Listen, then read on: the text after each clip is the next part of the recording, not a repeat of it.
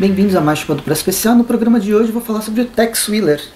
Eu trouxe não duas, mas oito edições. São dois arcos, dos dois últimos arcos que foram lançados das histórias do jovem Tex, né, do pré-Ranger, na, aqui na, pela, pela editora Mitos. Aqui tem, a gente tem as edições 29 a 36, que são as mesmas italianas, mas a diferença é só a época que foi lançada.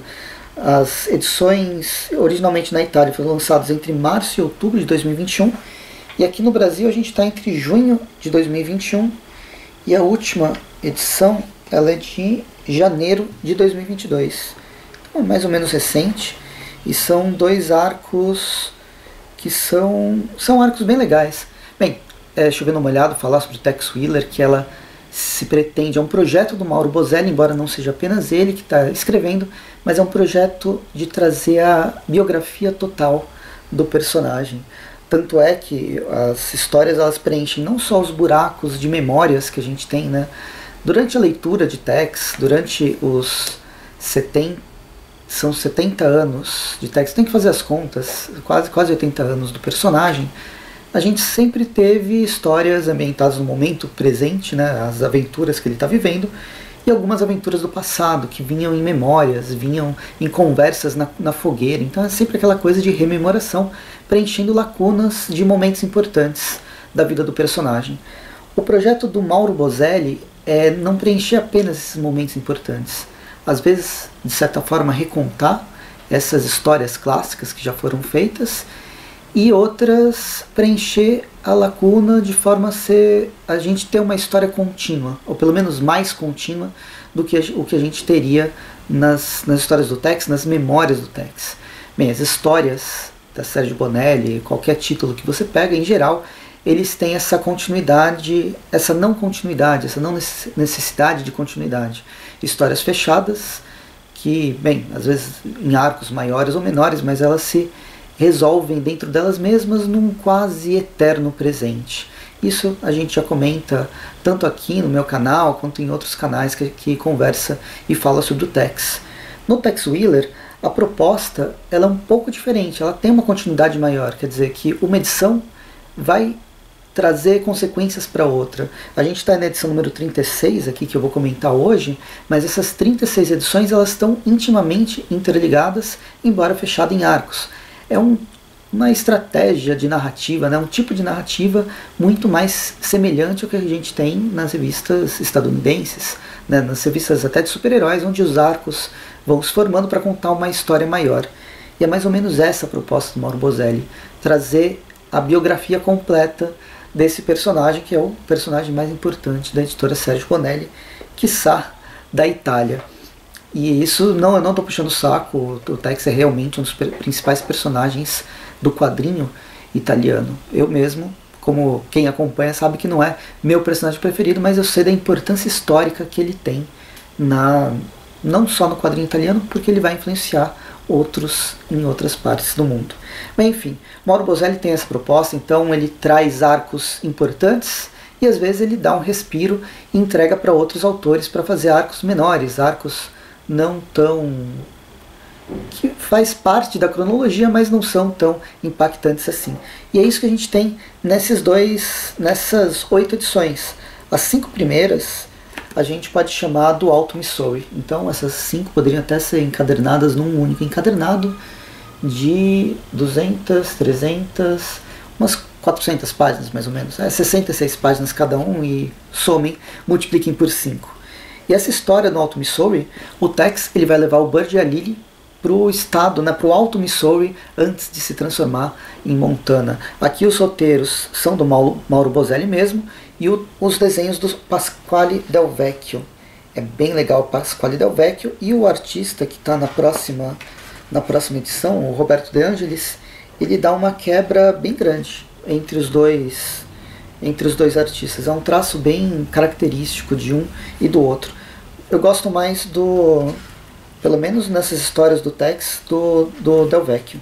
Bem, só para vocês verem um pouco mais da arte. A história então, o Tex ele vai tentar ajudar o Bird a Lily nesse Alto Missouri, acaba confrontando com alguns um grupo de bandidos que estava massacrando pessoas, massacrando várias aldeias de povos originários que viviam no local. Em meio a esse massacre, ele e os seus pardes, esses pardes desse, desse momento, conseguem reverter a situação, mas ao mesmo, mesmo tempo eles começam a ser caçados. Existe uma é, uma narrativa de sobrevivência ao longo dessas cinco edições, onde o Tex e esses companheiros eles vão passando entre aldeias e entre, entre aldeias de povos originários e entre aldeias de colonizadores para tentar chegar numa, numa situação onde todos os, os vilões sejam é, capturados ou mortos, dependendo da forma que vocês quiserem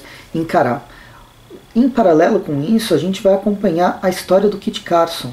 O Kit Carson também está no Alto Missouri, ele está atrás de um assassino que é o Ricardo Gomes. E aí ele nessa caça ao Ricardo Gomes, o Tex vai quase se encontrar com o Kit Carson. Então são narrativas paralelas. A primeira, a do, a do Alto, a do, do Alto Missouri, que é do, do Tex, ela vai fazer uma referência quase como um prequel, é, contando como que a Bird e a Lily, o, o Bird e a Lily foram parar nesse local e depois vai ser trabalhado. Foi pelo Gianfranco Manfredi, acho, no graphic novel Desafio Montana. Acho que é a terceira edição, terceira ou quarta edição, uma das primeiras edições das graphic novels. No paralelo, a gente vai acompanhar justamente bem, bem pouquinho em comparação com o Tex, mas a história do Kit Carson que foi contada, ou pelo menos o que seria um prequel talvez, do que foi contado também no passado do Kit Carson, e esse foi um roteiro do Mauro Bozelli, é uma história que eu quero muito ler e que é considerado um grande clássico também dessa longa história de títulos e histórias do que o Tex do, do, do Tex, né, do personagem do Tex. Enfim, essas duas histórias elas vão correndo em paralelo com personagens que vão se encontrando, principalmente esse Ricardo Gomes. E aí as amarras elas vão estar tá não apenas na cronologia do personagem, mas na própria cronologia da nossa história, com aparição de aparição e, e contato entre várias personalidades históricas que vão acompanhar tanto um personagem quanto outro. É bem legal como as duas histórias elas passam muito próximas entre si, quilômetros de distância muito próximos. Eles acabam não se encontrando, mas elas conversam a todo momento e os encontros ocorrem a partir desses, desses outros personagens que eles vão encontrando. Bem, bem divertida, bem interessante a forma como Mauro Bozelli está se propondo fazer essas amarras.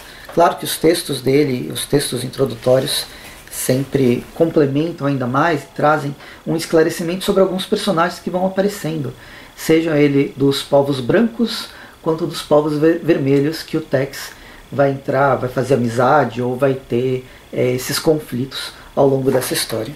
Bem, essa, essa, esse arco de cinco partes, ele traz uma, um passado bastante importante para o personagem, fazendo referências a esses dois momentos, seja a graphic novel, que é uma história bem legal, mas talvez não seja tão memorável quanto o passado do Kit Carson. Quando a gente chega nas montanhas de Atacosa, o Tex ele já volta né, pro, pro, pro Texas, ele sai do Alto Missouri e volta pelo menos para o sul.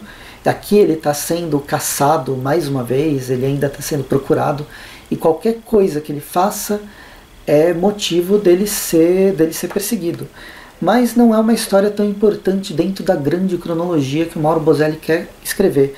Então quem faz o texto daqui é o Jacopo Raut com os, Roberto, os desenhos do Roberto De Angelis.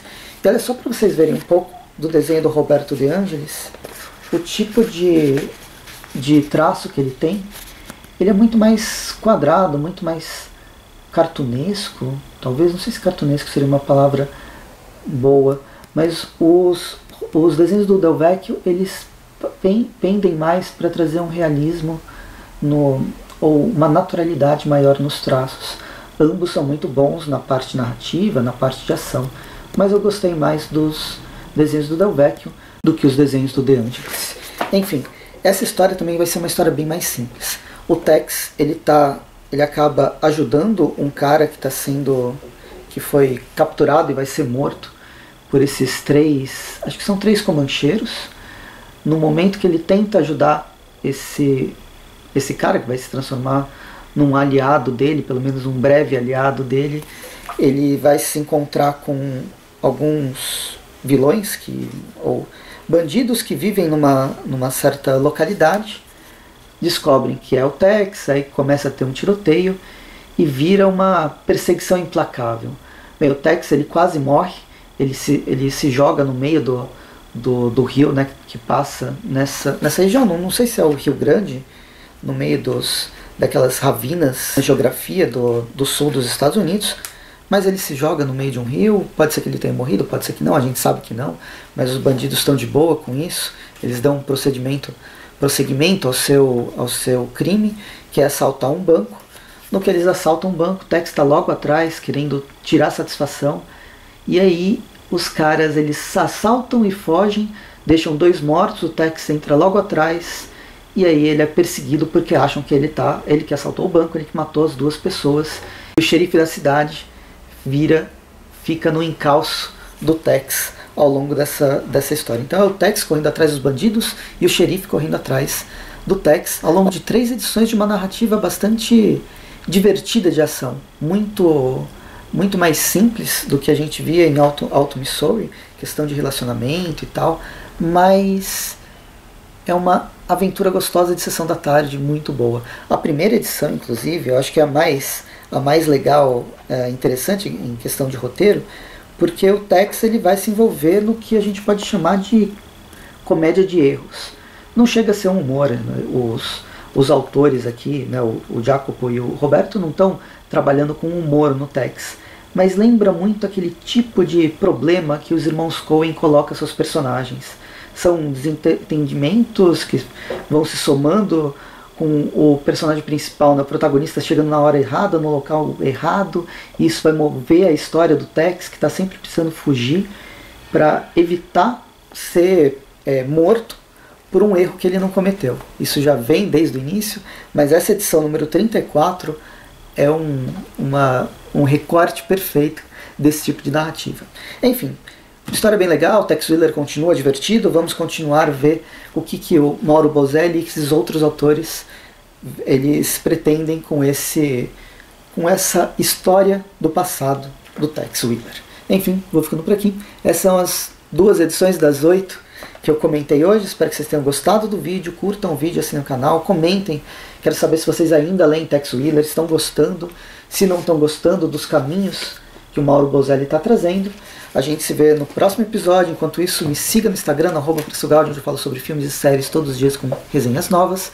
Tem também o Fortaleza Quântica, que é um podcast onde eu mesmo a gente conversa sobre filmes, séries, quadrinhos, faz entrevistas, faz listas. São episódios atemporais com várias recomendações. Então procure no Spotify, procura no Courage ou qualquer outro agregador de áudio.